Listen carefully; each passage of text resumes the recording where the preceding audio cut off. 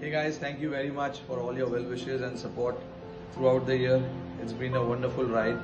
Uh, to receive uh, such a क्या रोहित शर्मा ने T twenty cricket से ले लिया है संन्यास? क्या रोहित शर्मा अब टी ट्वेंटी खेलते हुए हमें नहीं दिखेंगे कभी भी? क्या वर्ल्ड कप फाइनल के हारने के बाद रोहित शर्मा के दिमाग पे असर हुआ है? इस वजह से उन्होंने टी ट्वेंटी से संन्यास लिया है। क्या है पूरी बात? जानते हैं आज की इस वीडियो में।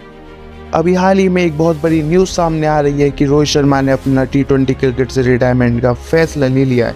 वर्ल्ड कप फाइनल में इतनी बड़ी हार के बाद उन्होंने अपने टी ट्वेंटी इंटरनेशनल क्रिकेट से अपना अलविदा कहने का समय ले लिया है। अब वो हमें कभी भी टी ट्वेंटी इंटरनेशनल क्रिकेट में दिखाई नहीं देंगे। उनके इस अनाउंसमेंट के बाद उनके काफ़ी फैंस दुखी दिखाई दे रहे हैं। और इस बात पर उनकी काफ़ी चर्चाएँ हो रही हैं पूरे देश में।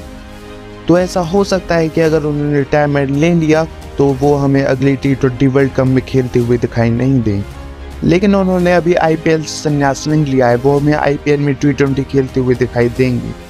तो आपकी क्या राय है? क्या उन्होंने फैसला सही लिया या फिर उन्होंने अपने पैर पे कुल्हारी मारी हुई है? अपनी राय देने के लिए अभी इस चैनल को सब्सक्राइब कीजिए।